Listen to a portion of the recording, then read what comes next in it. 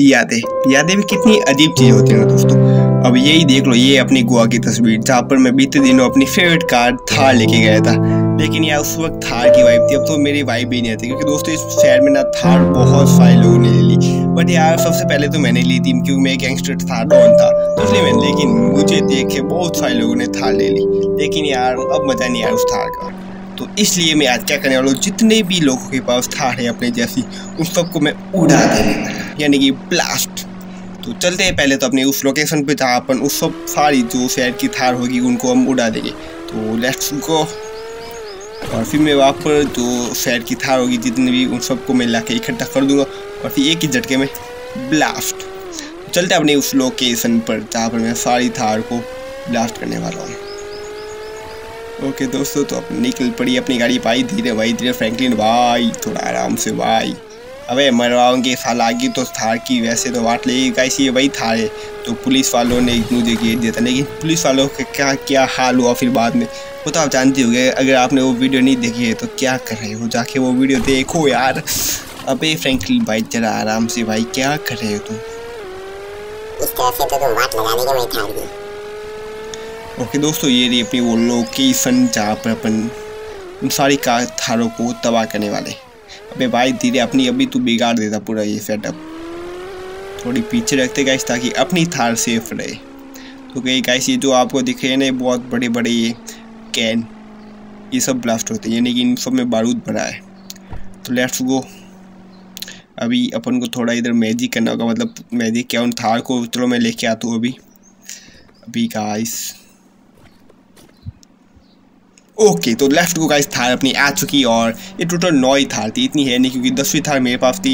मतलब टोटल अपने शहर में दस थार थी तो एक तो मेरे पास है और ये पूरी नौ थार तो ये नौ थार को आदमी करने वाला वो ब्लास्ट ये सब मैंने उठा दोस्तों, जितने भी शहर में जिनके पास थी, सबको उठा दिया मैंने।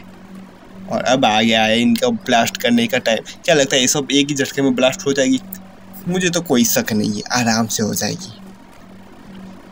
मैंने मतलब मैं वैसे तो करने तो मतलब करने का तो मैं ऐसे ही उनको ब्लास्ट कर सकता था लेकिन मुझे थोड़े वो मज़ा आना चाहिए ना। तो इसलिए तो इधर फेंकते अपना एक बॉम्ब एक ही बहुत है।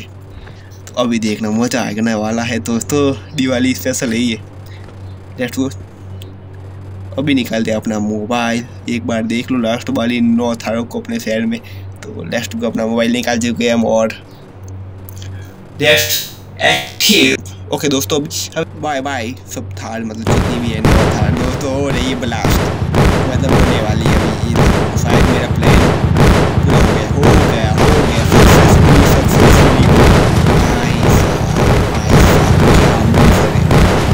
this is very dangerous अच्छा इसके अंदर दोस्तों मैंने शायद इसकी टंकी भी बढ़ रखी थी क्या पता नहीं, लेकिन आई थिंक थी तो गाइस नौ में से एक भी कार नहीं बची है।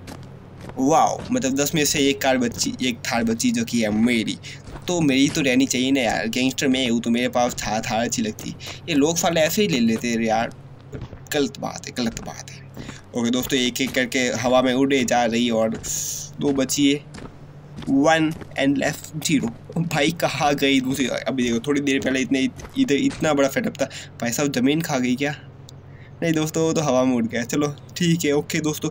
बट अच्छी बात है, अपनी थार बच गई।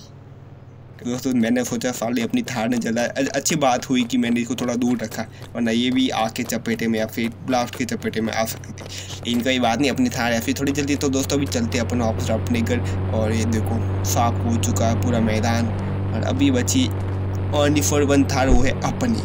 तो फ्रैंकलिन भाई चलो भाई, अपनी थार के साथ करते हैं मुझे let's go back to the my home तो दोस्तों ये वीडियो लगी कैसी वैसे? अच्छी लगी है तो लाइक ज़रूर कर लेना और सब्सक्राइब तो करना ही है।